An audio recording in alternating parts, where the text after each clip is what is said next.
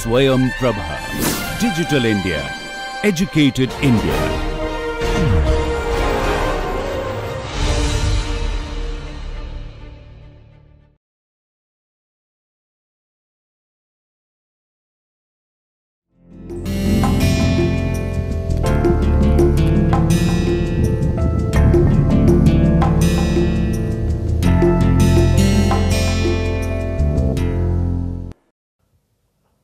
Namaste everybody. As we know, Sarala did not translate Vyasa Mahabharata, Sarala retold it. By retold, uh, we mean that he added episodes which did not exist in Vyasa Mahabharata. He deleted episodes that occurred in Vyasa Mahabharata. He modified some episodes. By modified, we mean he expanded some of them and contracted some of them. And he, he on the whole, he reconceptualized Vyasa Mahabharata and wrote it in Odia. What we want to do is, and now, now now, this retailing is not something new to the Mahabharata, uh, the Mahabharata tradition or the, the, the retelling is not something that is new when we think of the tradition of the Mahabharata narration. It is said that uh, Vyasa told the story of the Mahabharata in just four slokas. Later, Narada expanded it to a text of 30 lakh slokas. It is said that Shuka, there are others in between, and then uh, Shuka contracted it, reduced the 30,000 slokas into 14, and then Vaishampayana reduced the 14 lakh slokas into just 1 lakh and it is Vaishampayana's version that goes by the name of Vyasa Mahabharata. That is one tradition. So, there are actually uh, not just Vyasa wrote the original or Vyasa composed the original, but there are others who were retailers. It is just that the, the text also goes by the name of Vyasa. So, what we call Vyasa Mahabharata from the point of view of this tradition, it is actually Vaishampayana's retelling of Mahabharata, which was originally composed by Vyasa. So, this retelling is not new to the composition of Mahabharata. So, when Vyasa Mahabharata was retold in bhashas in, in, in different bhashas uh, like Odia, like Marathi, like Bengali, like Telugu, Tamil, Kannada. When uh, it when when it was retold, then the poets took considerable freedom in retelling the story. So, taking freedom with the basic narrative is not something new, it is a part of the tradition. In fact, uh, I, I, must tell you that uh, there, is an, there, is an, there, is an, there is an alternative tradition to the composition of uh, concerning the composition of the Mahabharata, in which Narada and Vaishampayana etc. do not figure. It is said that the, the, the first text in this respect was called Jaya where Jaya means victory. And then Jaya was expanded, Jaya was composed in just 8000 slokas. Now, Jaya was expanded to Bharata and Bharata was composed in 24,000 slokas. Now, Mahabharata is composed in 1 lakh slokas. So, this is an alternative tradition and all these are attributed to Vyasa. So, surely Vyasa was not an individual. So, we are not talking about Vyasa as an individual. We are talking about probably a title of uh, poets uh, who uh, probably a title and uh, probably a title of the of many poets and the title was Vyasa. So, let us not go into those things. We say that uh, going by tradition, we say that Vyasa Mahabharata was composed in 1 lakh uh, slokas. Uh, in one tradition, uh, as, as, I just mentioned, it was Vaishampayana whose work goes by Vyasa Mahabharata. In another, it is Vyasa Mahabharata composed by Vyasa. So, now uh, Sarala has retold Vyasa's story following the same uh, approach as uh, had been followed earlier in the composition of the text.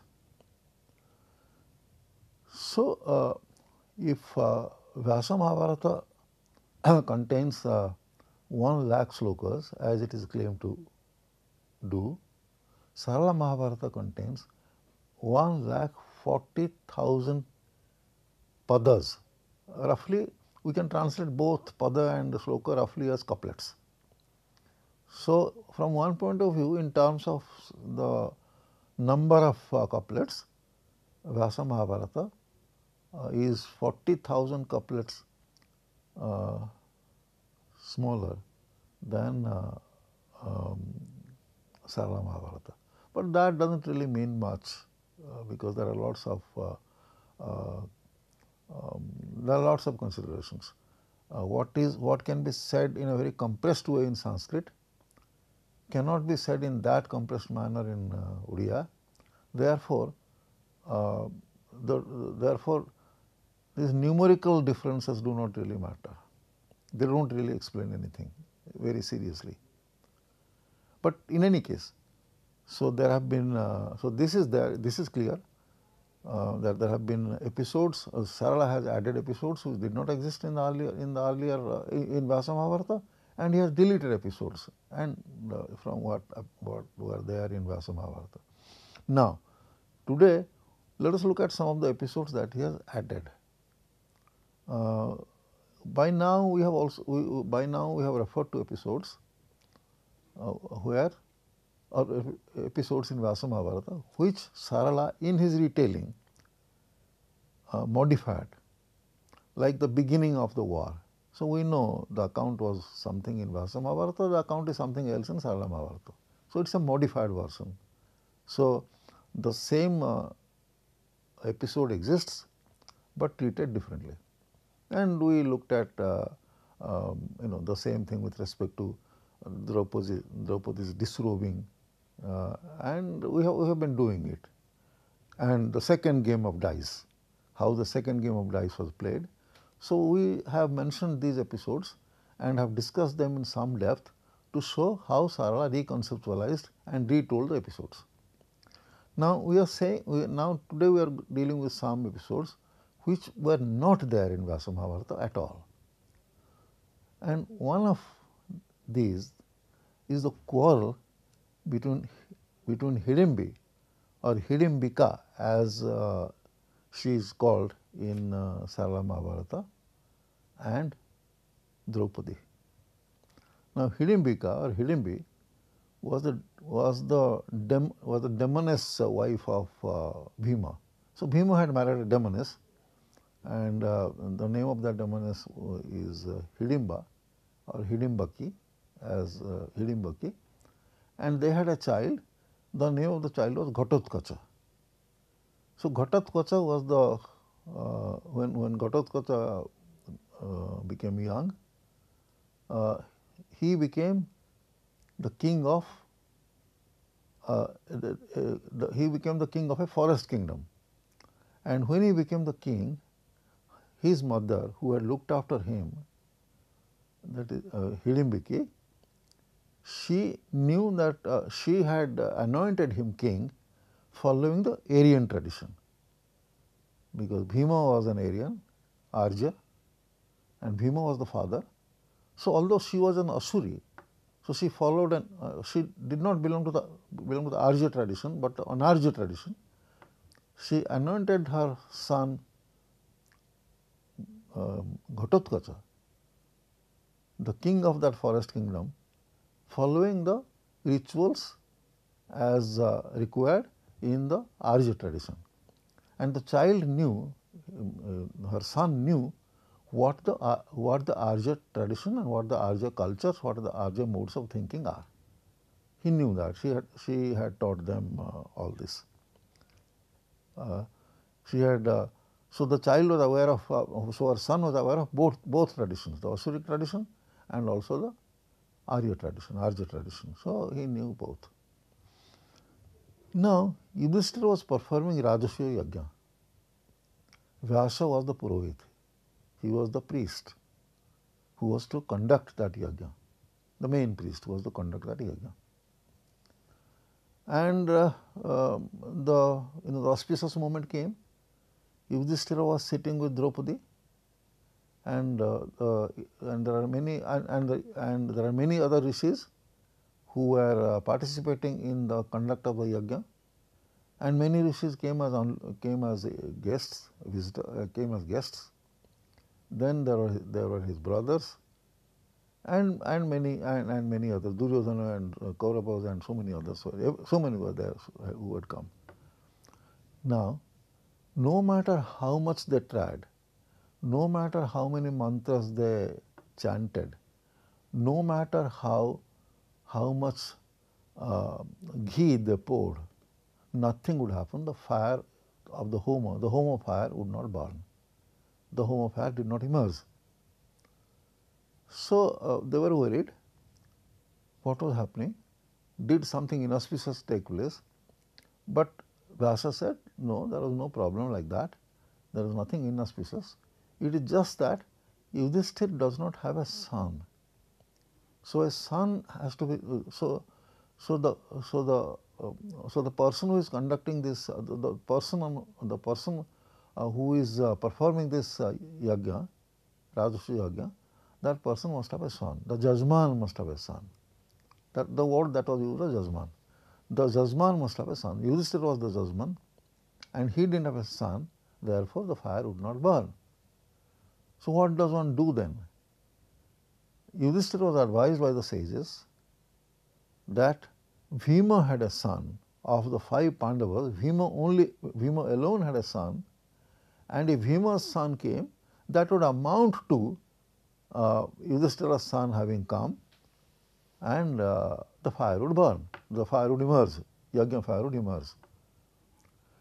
Now, there is a, there is a, uh, there is a certain story behind this as to how although the Pandavas uh, were five different uh, uh, persons, in some sense they were connected by some, in some way they were connected and it was as though there was one who had distributed himself into five and resided in part in each of them. We do not we need not go to that story here. That is not necessary for our purpose.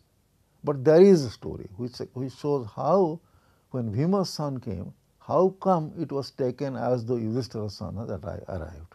So, logically the only thing is you connect them somehow that the same thing had divided itself into five different uh, into, into five different parts and each part resided in one Pandava. So, that is a logical one logical way of dealing with this and that was done. And that is what Sarla that is what Sarla's story is, but we, we, we are not concerned with that story here. So, the fire burned, but then how uh, sorry sorry uh, sorry. So, so, the, so Yudhishthira was advised to do this. Sorry. Yudhishthira was advised to do this. And uh, Bhima was told to invoke his son uh, Ghatotkacha and Bhima did that. So, Ghatotkacha knew that his father was uh, invite, his father had invoked him and his father wanted him to go to the Rajasuya Yajna. So, he told his mother Hidimbaki that father wants me to go to Rajasuya Yajna and I am and I will go. Hidimbaki says, go, but do the following. When you go there, you first pay your respects to your father Bhima. Next, you pay your respects to Krishna. Then bow to Vyasa and then to Yudhishthira. Period. Ghatotkacha knew that uh, Draupadi had not been named. Draupadi was born out of the sacred fire and she was a Brahmin, uh, she, she, she was a Brahmin born and born out of the sacred fire. So, how could she not be paid respect to?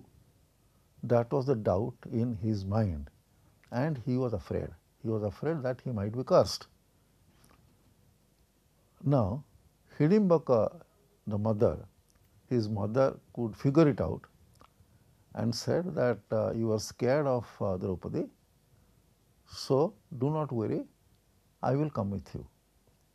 So, what she did was, she did not go with him really in that sense. Uh, he entered in, in he entered uh, in, in, he entered the, uh, the space where he entered the area where the uh, Rajasuya Yajna was being held and she was waiting outside. Nobody knew that he, she had come. So, Ghatotkacha went inside and he did exactly as his mother had told him to do. Draupadi uh, and uh, Draupadi was extremely upset. It, uh, she felt that Ghatotkacha had humiliated her in public. So, she cursed him.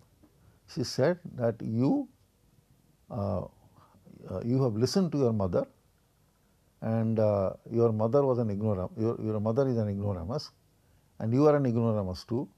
So, so you have disrespected me, I curse you. You, you. you, know who I am. I am Yudhishthira's wife. I am born out of, uh, I, am I am a Brahmin born and I am born out of the sacred fire, who, sacred yajna. So, I curse you. So, so you, uh, since you have uh, uh, humiliated me in public, I curse you. And what was the curse? It was a terrible curse actually uh, Ghatotkacha was a Kshatriya. So, the curse was that Ghatotkacha would be killed without fighting. He will be uh, would be killed in the battlefield when he was not fighting. So, to be killed in the battlefield without uh, when one is not fighting was something considered to be extremely degrading, degenerating uh, for a Kshatriya. That was a very that was a terrible way of dying. Uh, the dignified way of dying is go to the battlefield, fight and die. You win or you die. So, dying in the battlefield fighting is considered was considered to be glorious and uh, true and, and uh, that was the death that that Kshatriya was uh, uh Kshatriya considered uh, um, you know proper that that was the death that that the Kshatriyas thought was honorable. But he was cursed to die without fighting when he was not fighting in the battlefield. That was a very degrading kind of uh, death that uh, uh, she had uh, uh, cursed him uh, with. now, Hidimbaki, who was waiting outside, heard what she had said. So, she rushed into the yajna area and shouted at Draupadi. She said, My son has been anointed king following the Arya tradition. He is the king. He is not supposed to bow to a fallen woman. You are an asati. You are an asati, you have five husbands. That is not the tradition of the Aryas. And my son, who is the king, cannot bow was not expected to bow to a fallen woman like you. And I curse you. And he said, and she said, you haven't, you, you, you have no issue right now. You don't have any sons, you don't have any issue. But someday you will have children. And I curse your children. The unborn children I curse. They will all die young. So they cursed each other uh, Bhima's son would die and so would Draupadi's children. Now everybody kept, there was a, there was a lull in the hall among the, uh, among the assembled there was a complete lull. The two women had cursed each other and had destroyed uh, each other's children by through that curse. Now Krishna asked Vyasa, Vyasa, look at your text and see how this is going to materialize. So what Vyasa did was he opened his pothi, he opened his text and told Krishna how Draupadi's children will be killed and how Ghatotkacha will be killed. Talking about Ghatotkacha, he said that uh, in the text it is written that uh, Karna, uh, Karna's Shakti would kill him when he would be, uh, when he would not be fighting. Details do not concern us, sometime maybe we will be, you know, we will talk. maybe one, uh, maybe I can tell you the detail what happened here. Karna had got a Shakti, a, a kind of very powerful divine power and uh, uh, it had the form of it had the form of a spear and and the appropriate mantra has to be invoked and the spear would become a terrible Shakti and then whoever Arjuna wanted to kill with that Shakti, that Shakti would go and kill. It is an unfailing Shakti. You know, whoever is the target, the Shakti would hit. Nothing can stop it. So Karna had reserved it for Arjuna. And during their fight, uh, one, uh, one day during their fight, uh, when Drona was the commander in chief, during their fight, Karna threw that arrow at Arjuna. Now, what Krishna did was, before Krishna, Krishna knew what Karna was doing, so Krishna asked um, Ghatotkacha to go behind Arjuna's chariot. And uh, nobody ever uh, questioned Krishna. Why are you saying this was not something that uh, anybody ever asked Krishna. Whatever he said, people agreed to, you know, without any questioning. It was rarely that uh, there was a discussion with Krishna as, with respect to um, the logic of his stand or with respect to why he was saying what he was saying, very, very rarely. But otherwise, if he said something, it was done. So, Ghatotkacha in, in pure surrender to Krishna's words went behind Arjuna's chariot. And when that Shakti was thrown at Arjuna, what Krishna did was he removed the chariot and Ghatotkacha was exposed to the Shakti and the Shakti killed Ghatotkacha and he died. So, this is how Draupadi's curse was, uh, Draupadi's curse materialized. He died without fighting. And the story of uh, Draupadi children we already have uh, told in this uh, course, so we do not have to recount that. Now, uh, this is one story, the quarrel between Ghatotkacha and uh, uh, the quarrel between Gandhari, I am sorry, the quarrel between Draupadi and uh. Now, this to repeat does not occur in Vyasa Mahabharata, this is Sarala's addition. Consider another story. This time the quarrel between Kunti and Gandhari. Uh, uh, both of both Kunti and Gandhari used to go to a to a particular Shiva temple to worship Shiva. Uh, that was their uh, that was their everyday ritual. So, um, so one day, one day um, Gandhari discovered that the temple where she was going to worship Shiva was also the temple where Kunti used to come to worship Shiva. Kunti used to have her bath in the river and uh, worship uh, and come to the temple and worship Shiva and worship Shiva before Gandhari arrived. That was the normal thing, that, that was the daily thing. But one day Kunti was late. So, when Gandhari came, Kunti was in the temple worshipping Shiva. And when Gandhari found this, she was furious. Kunti's husband was dead, Pandu was no more, so Kunti was a widow and was powerless. And Gandhari's husband Dhritarashtra was the king of Hastinapura and so she was the empress. So, how dare Kunti worship in the same temple where, uh, uh, where she offered her worship. So, she shouted at Kunti and Kunti responded. But then Mahadev, Bhagavan Mahadev materialized. He told Kunti and uh, Gandhari that look, we, we, nobody is dear to us. So don't fight, we, nobody is dear to us. If you give us gifts, we are yours. Otherwise, no. We don't belong to anybody. So you give us, you give us whatever we want and then, you know, we are yours. Now what is it that, what is that Shiva wanted? Shiva said by tomorrow morning, tomorrow morning when you come to worship, bring a champak flower made of gold. So that is what he said and disappeared. So Kunti was very upset and Gandhari was of course elated because Gandhari was the queen and getting a, a champak flower was no problem for her. Getting a golden champak uh, flower was no problem for her. She could get it immediately. All the treasury, state treasury was in her hands. It was in the hands of Dhritarashtra and uh, gold was not a problem for her.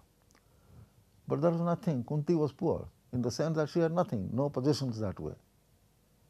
Uh, where, where, would she get golden uh, champaks? And uh, um, so she was upset and her children uh, found their mother upset. So they said, so they told, so they asked Kunti, Kunti, mother, what is it that is bothering you? So Kunti said, uh, children, don't worry yourselves.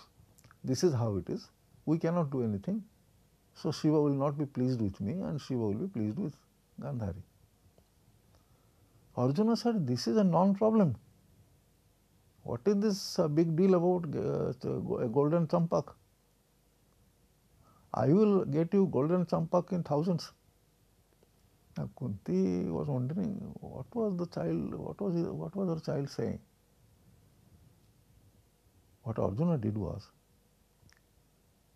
Arjuna told what you know, Arjuna told her mother that as as always you go and have your bath before Gandhari comes and has and takes her bath you go and have your bath and go and worship and you will see the champak flowers will be there.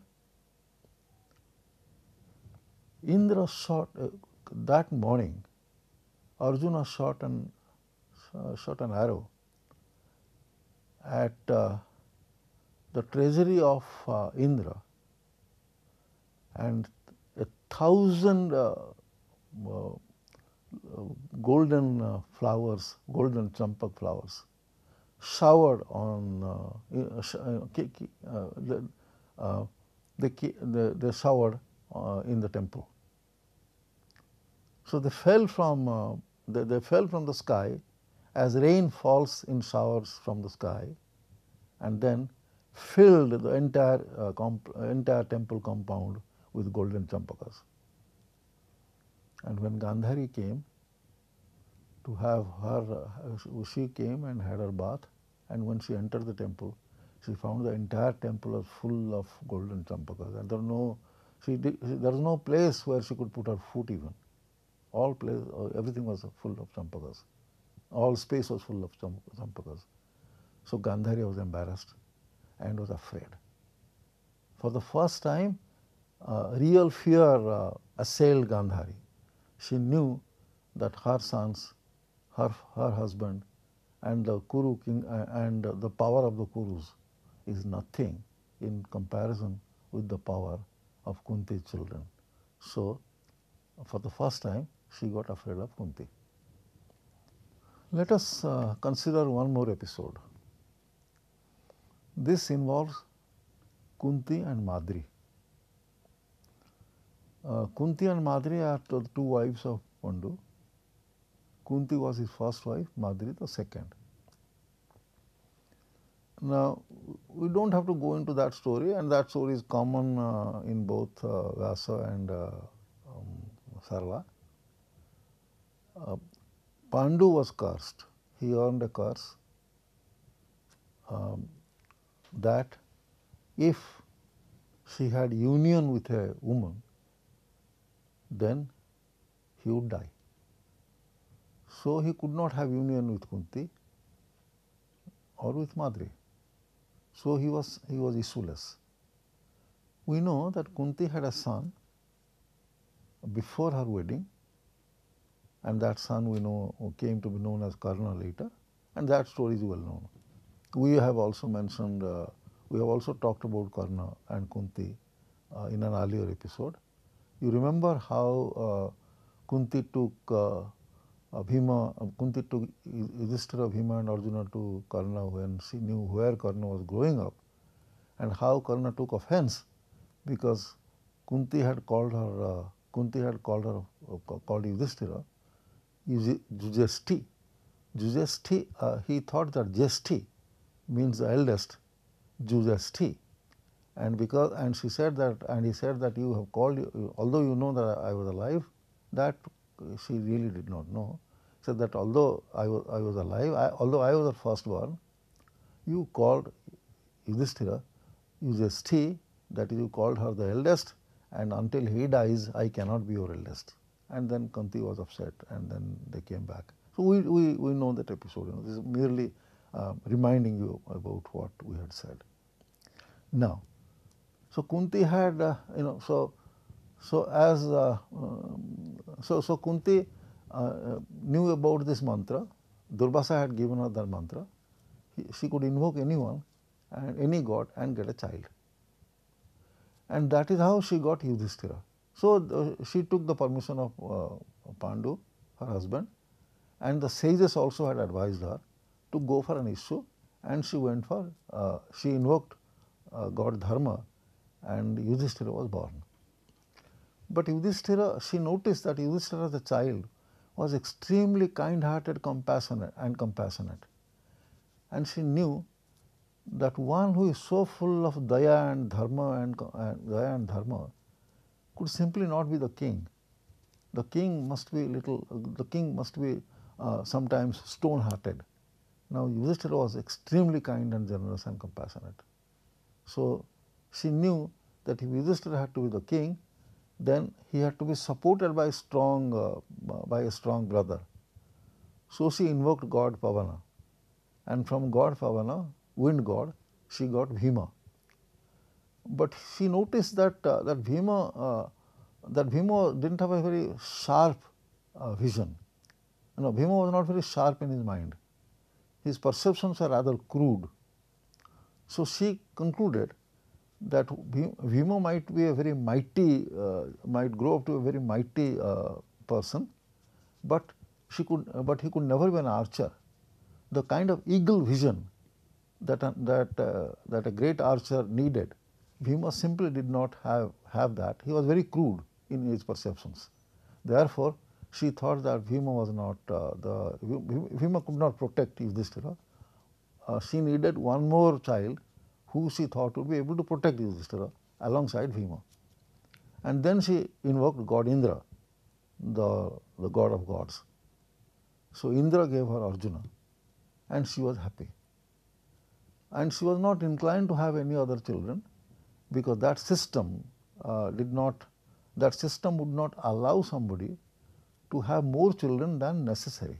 She already had, she had in some sense violated that system by going for the second and the third, uh, for, for her second and third child. She had already violated it. She did not want to do for, and and and that and going uh, and asking for more or trying to get more would simply be a violation of that code. That code was called Niyoga. We do not have to go into details of what Niyoga was how Niyoga started, what Bhagavan Parsuram had done uh, and how after that uh, the society had to answer a certain kind of need and how it came up with the system of Niyoga, all this uh, we do not have to go into. Uh, in any case, so she thought that uh, she, she, it would be, it would be sinful if she went for another child. So that was how it was. And one day, sage Agastya visited them and sage Agastya told Kunti that Kunti, now since you have three children, give that mantra and that and the, and the garland that uh, had given you, give that to Madri. Your uh, uh, you give that to Madri. Uh, so Kunti, uh, uh, then Kunti, Kunti was willing. She herself did not have any children, and Madri had served her very affectionately and served her very sincerely and diligently. So, she was pleased with Madri. So, she had no problem sharing, sharing that mantra and that garland with Madri. So, she uh, uh, but what happened was um, Kunti, Kunti asked says Agastya, uh, he is called says Agastya in, uh, in other versions, but in uh, Sarala's version he is consist he is called both says Agastya and much more frequently Agasti. So, says Agasti, uh, she asked says Agasti, how did you know about the mantra? How did, knew, how did you know about Durvasa's garland? And Agastya's answer was, I knew because I have created this. This is interesting. Agastya said that he had created that. He used the word uh, sarjana. He used the he, he used the appropriate form of the word sarjana that is created. So, he had created the story, he had created the narrative. And Kunti was surprised and uh, Agastya said, look you want to know more?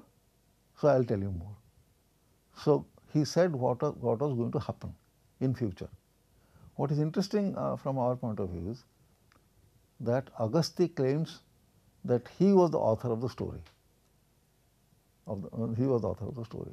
Now, in the earlier case, when, when Krishna asked Vyasa, now open your uh, and, and tell us what, uh, how Draupadi's curse would materialize and how got and how Hidimba's curse would materialize, Vyasa had opened his Pothi. So, who is the author? Is it Vyasa or is it Agastya? Or were there multiple traditions in which different, uh, you know, in which uh, different sages were considered to be authors? You know, we leave this question uh, unanswered. Uh, this, in, in, in, in Sarala Mahabharata, Vyasa is, okay, Vyasa is also referred to be uh, the author of the original version of Mahabharata and here Agastya. Um, so, uh, so we leave the matter here. Uh, maybe there are, uh, as, as, I said, maybe uh, Mahabharata was composed in different traditions in this country, in different in different parts of the country, and different uh, rishis were invoked as uh, different rishis were named as author. We leave the matter unanswered. But it is interesting to note this. It is interesting to note that what it is interesting to note that what was happening was only an enactment of what was to happen. Uh, it is not that the, you know, the story had already been told and all these persons were actually actors on the stage doing their or acting um, or enacting their roles and the roles were assigned pre-assigned roles. We come to another story and this is about Princess Amba's revenge. Um, and this story is pretty different. This story is quite different. Uh, this story is quite new in the context of uh, this story is quite new in Sarala. It, uh, it, it does not exist in Vyasa Mahabharata. Now, uh, Amba Bhishma want, uh, when Chitravirya and uh, um, Amba want, Bhishma wanted to marry Amba. Two of Amba's sisters had already been married to two of his brothers and Amba had remained unmarried. Uh, she actually wanted to marry someone else. In any case, uh, Bhishma's two brothers had been married to two sisters of Amba, Ambika and Ambalika and uh, uh, Amba was unmarried. So, Bhishma sent word to her father that uh, why don't you uh, give, uh, why don't you give Amba in marriage to me. What her father had decided to do by then was to have a Swayamvara for Amba. Uh, Amba was to marry, uh, Amba, was uh, attracted towards Salva and wanted to marry Salva. And a Swayamvar was, uh, was something that would probably legitimize that. So, would come and other kings would come and she would choose Salva. So, surely other kings did not know this or probably her father also did not know this. but uh, her father was, uh, was uh, organized, her father was conducting, a, uh, was organizing a Swayamvara for her. Now, when this is when Bhishma sent word that when he heard about the Swayamvara, he sent word, he said, why don't you give Amba in marriage to me? And uh, mm, so when uh, her father knew that Bhishma was interested in her in her in his daughter's hand, uh, he he didn't know what to do with the Swayamvara. Kings would come and would they not feel uh, humiliated? In any case, when the kings heard and the princess heard that Bhishma was interested in Amba, nobody came to Swayamvara. They all returned. And even Salu returned. He was coming, but he also returned. Because everyone was scared of Bhishma. There was no one compare, com, there was no one who could be compared to Bhishma uh, in terms of, uh, I mean, Bhishma was the greatest warrior. There was no one who, who was a, who could be a competitor to him. There was no equal to Bhishma. So everyone was afraid and no one came. So he went and, uh, you know, sort of, uh, but when Bhishma, uh, yeah, so, so, so Bhishma dressed himself in the bridal, uh, I mean, in the, in the dress of the bridegroom. Uh, he, uh, he, he had already, so he had, so he had already dressed himself in the, in the bridegroom's dress. And at the auspicious moment, he was going to start. Then he found his father Shantanu. When he went to seek Shantanu's blessings before he started for Amba's house, he found uh, Shantanu upset. He was a very, he was an intelligent son and a very wise son, a person who was uh, uh, spiritually evolved and had, a, and had a very keen sense of discrimination, uh, was intelligent. So, uh, he could sense that his father was not very happy. So he asked his father, what was the reason? His father said that look, there is a curse on me, and the curse is from Bhishma's mother and his former wife Ganga, his wife Ganga. And uh, the curse was that Bhishma's uh, child would kill him. Now, notice uh, uh, the you, let us recall in very brief uh, what happened in uh, Shala Mahabharata, in, in Vyasa Mahabharata. Uh, Bhishma, uh, when, when Santanu wanted to marry Satyavati, who was a fisher uh, man's daughter, um, he could not he couldn't express his desire to marry Satyavati because, uh, uh, because the conditions that the, her father has imposed on him. And one of the conditions was that, one of the conditions actually, uh, one of the conditions was that um, her son would become the king and um, and uh, yeah one of the one, yeah, one of the one of the conditions involved uh, that Bhishma must have no children because Shantanu may agree that uh, her son would become the king, but what guarantee was there that later Bhishma's children would not want to take over kingship. So, uh, he had said the fisherman's uh, the fisher woman's daughter had uh, sorry the fisher the fisherman had said that he would not give his daughter in marriage until uh, these conditions are fulfilled.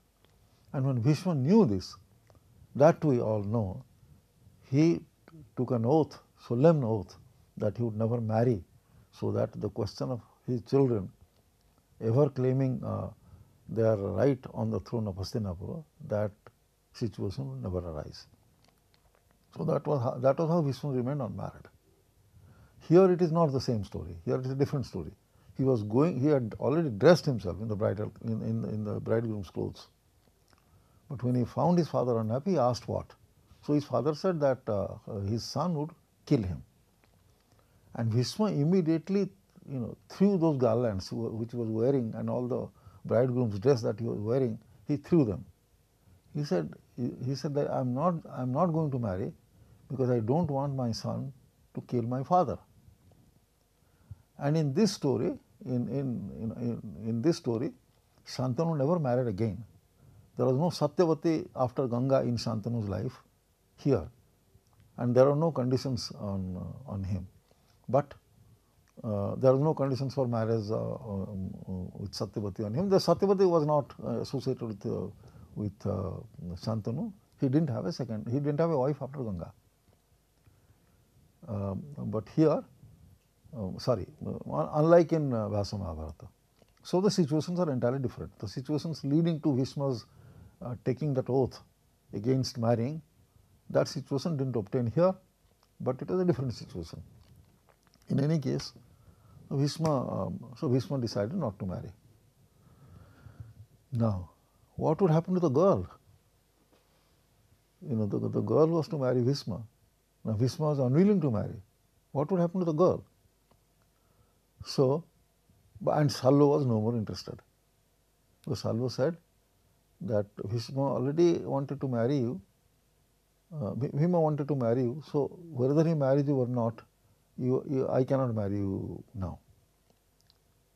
So, Shalva was not interested in marrying her. So, she could neither go to, so she had no one. And her father was very worried and her father brought her and left her in Bhishma's palace saying that uh, from now on this is your home, look after Bhishma and live your life. And saying this he left.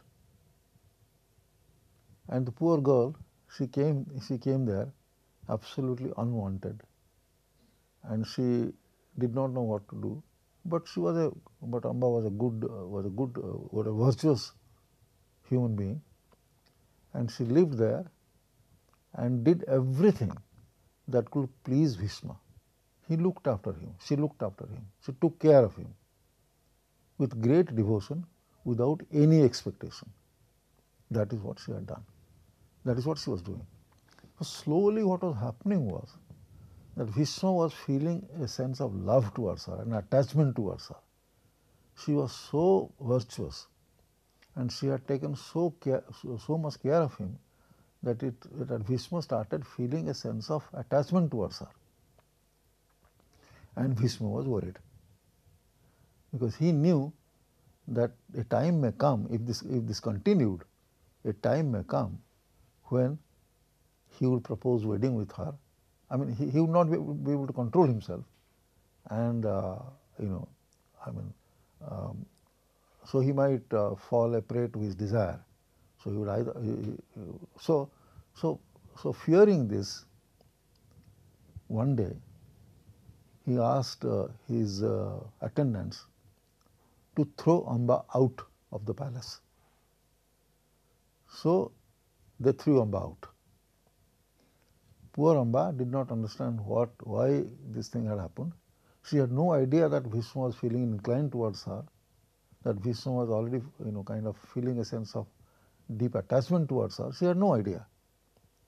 And poor innocent woman, one fine morning, she was thrown out. And, and thrown out quite rudely. She didn't know what to do. Parsurama tried to help her, but did not succeed. So she went to Prayag and uh, took Jal Samadhi, sacrificed herself in the waters of the in the sacred waters of uh, uh, the river with the wish that she would be the cause of Bhishma's destruction. And that was also the boon that Shiva had given him. So Shiva told him, uh, sorry, that was the boon that Shiva had given her. And Shiva had told her that although she would not be able to kill Bhishma herself, she would be the cause of her death. No, she would be the cause of his death. And after that, she sacrificed herself in the waters of the waters of the river, sacred river, and was reborn as uh, Shikhandi.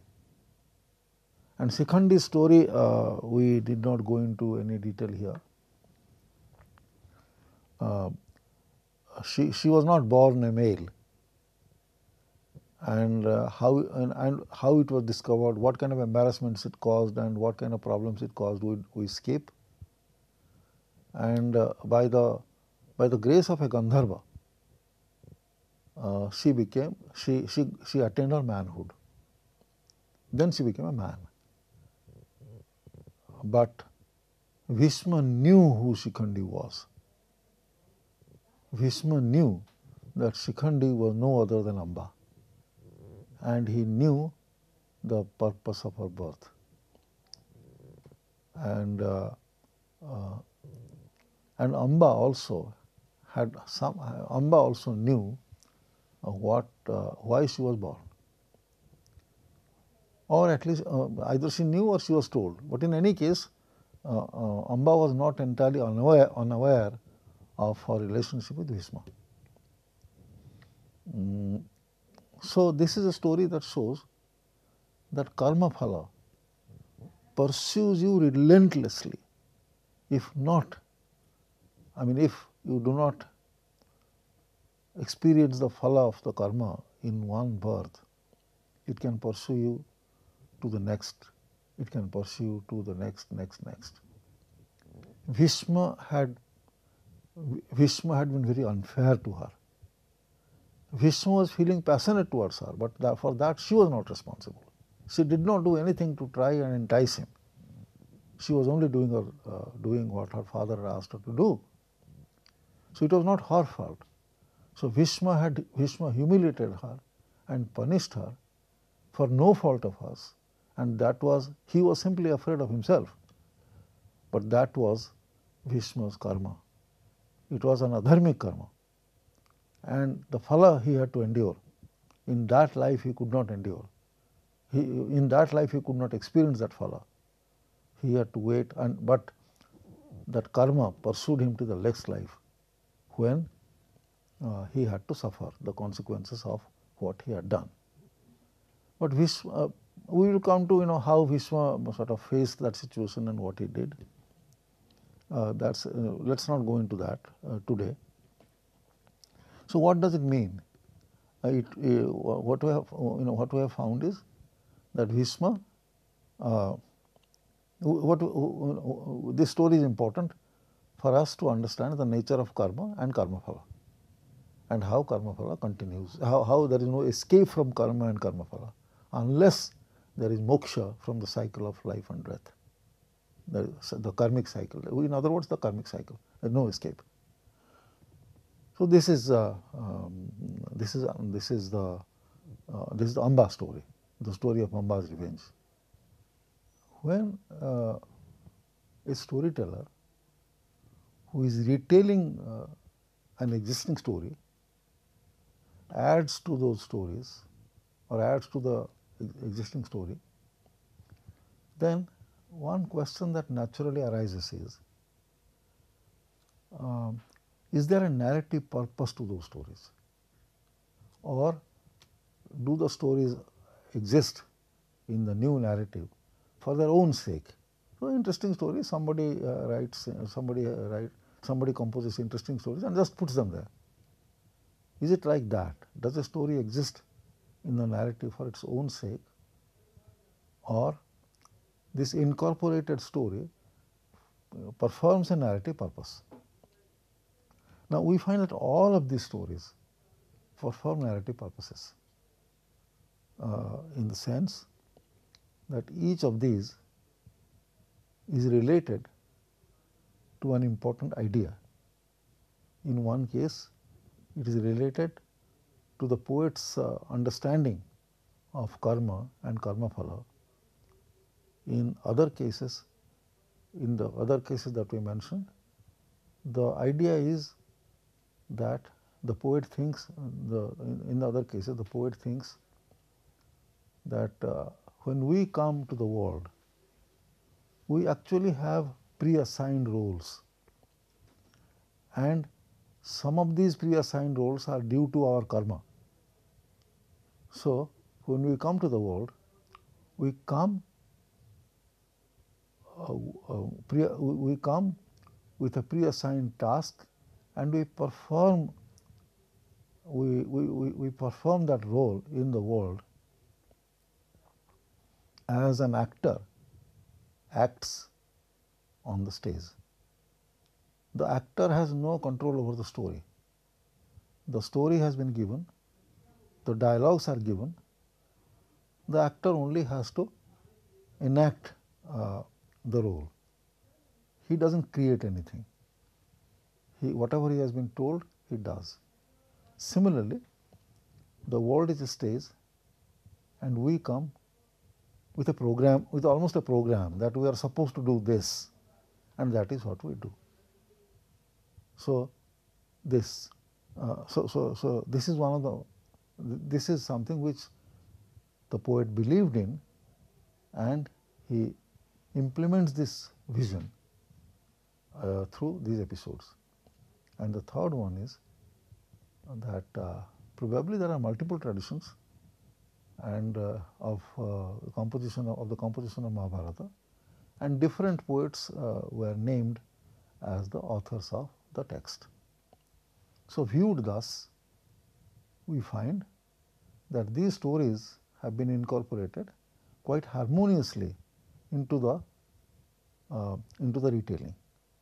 So, they are connected in an organic manner with the text and they are not uh, they do not seem like uh, uh, you know they, they do not seem like unwelcome uh, uh, incorporations. thank you very much.